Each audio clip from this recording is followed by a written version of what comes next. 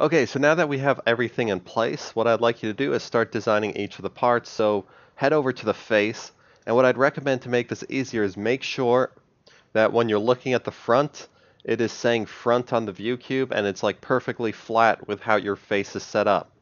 If by chance you're looking at your view cube and let's say this was the front and you didn't want that to be the front or if this was the front and you're like no that doesn't look like how Mr. Z has it what I want you to do is just adjust your cube to what you want to be the front. So like, let's say I wanted this to be the front.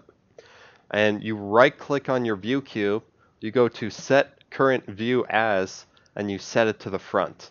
And if you do that, then you're going to have the same thing that I do. Okay, and on this surface, we're going to start a 2D sketch on here. And then what you have to do is like look at the details that makes your character. And what I'd recommend doing is anything like an eye or an eyebrow that shows up on the other side, we can actually mirror that, and I'm going to show you how to mirror that so we can get them exactly where we want them. Uh, but something that isn't symmetrical or something that's organic or just different, um, we're going to have to draw those in manually. So like, let's say the, uh, the smile, okay? I got the general idea of how it looks like. Um, it's going to be located relatively down here, and your goal is to try and make it uh, as accurate as possible. So you might have to refer back to that picture. Um, but I'm going to go ahead and draw the smile using the arc tool. And it actually looks like his smile is kind of arced there.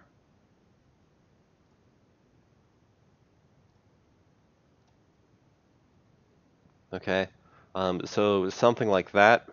And then if you want to get those black lines in there, or whatever your character has, um, use offset and create an offset.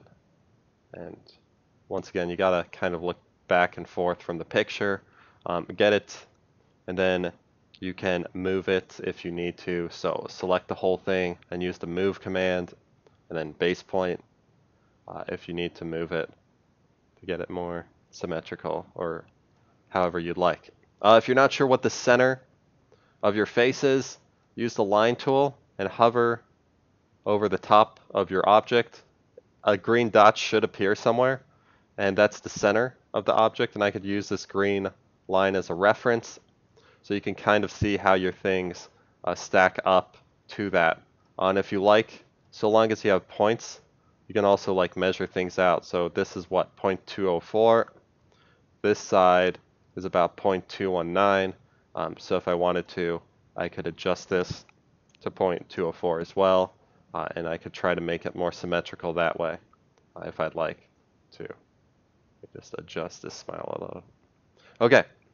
Um, so you can do that for the eyes. This person has like beady eyes. So I'll probably use an ellipse. Uh, ellipse is under circle. Um, it's relatively close. It's smaller than his smile and generally closer to his face. So something like that. And I'm just going to draw one because I'm going to mirror it. Uh, and then the nose is more organic. So I'm going to switch back to the arc tool. The nose seems to start not quite halfway up where his eyes are um, but relatively like there. Kind of has like an inward arc, and then kind of something like that. So, you know, this does require a little bit of finesse, a little bit of drawing, uh, but one thing you shouldn't be a stranger of in a design class is drawing. Because we do a lot of drawing.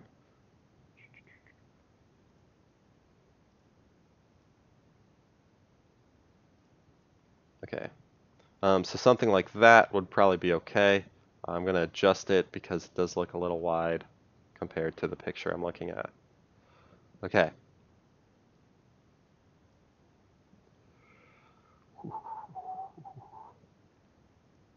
Um, this is what I got. And it might not be perfect the first time, but you know I'm going to draw it out once, and then we're going to adjust it.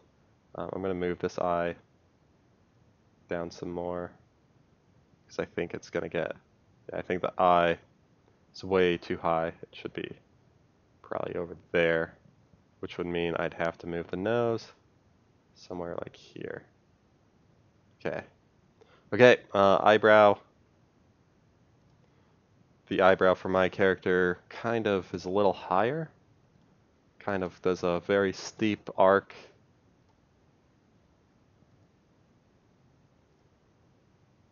Uh, but closes off really nicely on the side there. Okay, so something like that. And now the hair. The hair for something like this could be a little trickier um, because it's very organic. So you can make it with the arc tool, or if you'd like, you can try the spline tool. And the spline tool might actually be a better way to go. So what I recommend doing is having the picture next to you so that you can view it. And then you're going to, underneath the line tool, there's two spline options. And number two, the interpolation one, is considerably better than the control vertex one. So select that. And then just imagine like you're drawing your hair, uh, kind of like while looking at it, and just trying to get that relative shape. So you can kind of see what I'm doing here. Uh, I'm just imagining what it looks like, or just looking at the side of my screen. Uh, and you can look at your paper. And I'm trying to draw in what the hair looks like. And I'm creating a bunch of points. Uh, the more points you have, the more control you have if it um, not what you like. Um, so I got up to this point. I'm going to hit the plus so you can see the flow. And then I'm going to, uh, I'm just doing that because it has a very steep here. So it's going to be hard to, to turn around unless I end it there and just create a new one. And then I'm going to draw in the second one. And I might have not gone out far enough, but I'm going to try to work with it. Okay. And the most annoying thing about this tool is that checkmark plus thing follows you, um, and it can kind of get in your way sometimes.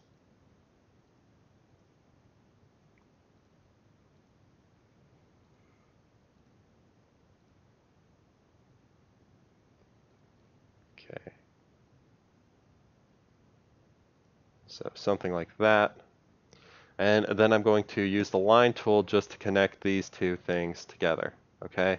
Looks like there's a little bit of an excess, so you can try and trim that off, uh, and it should hopefully let you. Okay, so that's the hair that I created, first try. And now here's the cool thing. If you don't like how it looks, or if it didn't quite turn out the way you wanted to, um, you can actually grab these dots, and you can adjust your hair. Um, and that's the, the reason I like this option more than the other one. You can try out the other one. It's just a lot harder um, to, you know, to groom or to adjust things versus this one, which gives you a little more control. So yeah, this was much steeper. Okay, so go ahead, just mess around with this tool a little, try to try to work on those adjustments. Wasn't that much over there. Um, and get the hair the way you like it. Um, and if you have spiky hair, you can just use the line tool, of course. Um, and once you have that in place, let's just check. I don't think, yeah, it's a little too complex to do an offset, so you don't need to worry about those black lines over there because it would be too difficult uh, to recreate. We could use a copy, um, but once again, that would require a copy and a scale, so let's just keep it at that. Uh, and it looks like I have all the detail I need. So I'm going to go ahead and finish this sketch, and let's go ahead and extrude out these objects first. So I'm going to go to extrude. I'm going to click on the eyebrow, the eye, the nose, and the mouth. Yep. And I'm going to extrude each of these out just a really small amount. So I'm going to type in 0.02, take a look, that looks fine. Uh, and I'm going to press OK. Once again, your sketch vanishes, but it's just hiding under the last extrusion you did. So hopefully you're getting better uh, at seeing that and turning it back on. And uh, let's go ahead and mirror the eye and the eyebrow, because you probably only have one. Uh, so we need a plane and two choices. You can go in your origin folder, and hopefully you have a plane that's in the center. Um, but maybe you don't, like mine isn't in the center, and I don't want to deal with that. But I remember how long, or the width of my guy. So where it says plane over here, I want you to click on that down arrow, and go to the option that says offset from plane. So what that's going to allow you to do is on any flat surface, like if I click here once, I can create a plane and I can move it to the center of my person. Okay, and the center for me is negative 0.5. I'm going to press OK, and now I have a plane that is cutting in the center. Okay, and I'm going to mirror. Oh, I'm going to mirror the eye and the eyebrow, but you might see there's a problem. Uh, because I did them in the same extrusion, it wants to ex or mirror everything. So I'm just going to go back real quick.